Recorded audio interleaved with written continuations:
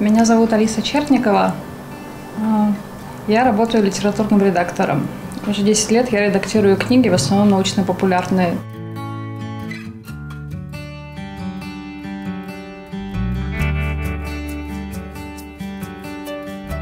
Когда наступает депрессия, у меня они бывают каждый год, поскольку у меня биполярное расстройство, то ну, я очень долго об этом не знала и даже не понимала, что это депрессия. Просто начинался какой-то плохой период, и я не могла взаимодействовать даже с близкими людьми.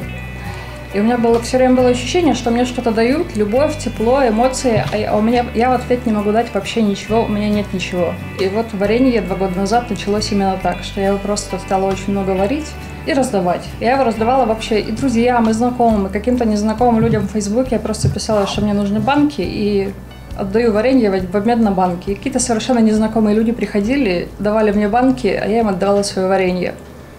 Честно говоря, сама удивлена, как это так получилось, потому что это все происходило вроде как само собой. Что вот одно варенье, второе варенье, потом оно начинает продаваться, потом что-то еще, потом ко мне в гости приходит телевидение. Это все было, оно как-то фоном идет, то есть для меня это, в общем, хобби, это не способ заработка. Меня вдохновляет придумать что-то новое, делать что-то новое.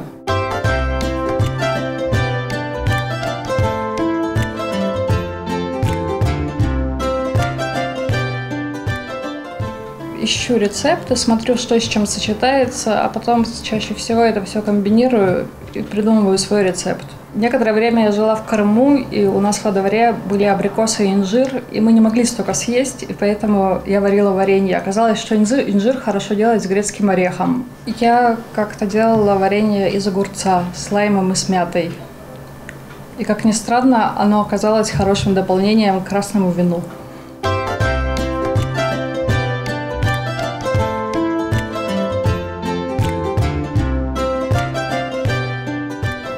Когда я подумала о том, что можно варить варенье из дыни, точнее, мне подруга об этом сказала, может быть, ты сваришь? Я думаю, ну, у дыни же мало вкуса, оно же не будет очень вкусным, скорее всего. Потом нашла рецепт, чуть-чуть изменила, стала варить, и это одно из моих лучших варений, в принципе. Оно очень нежное, очень хорошо подходит к сырам, ну, не так хорошо, к овсяночке, например, по утрам.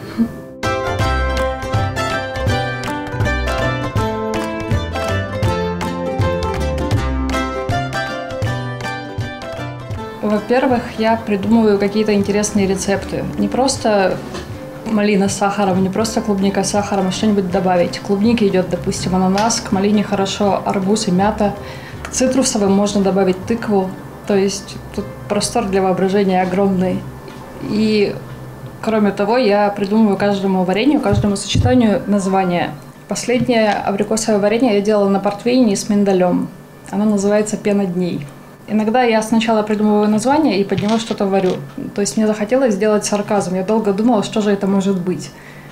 Потом решила, что наверняка что-то острое. И так появилось варенье из болгарского перца с чили и с яблоком.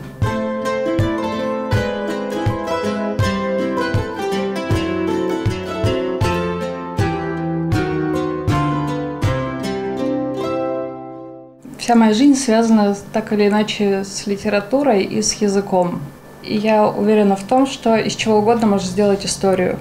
Можно взять любой факт из жизни или любой день человека, любую жизнь и сделать из этого историю. И здесь то же самое. Каждое варенье – это своя история.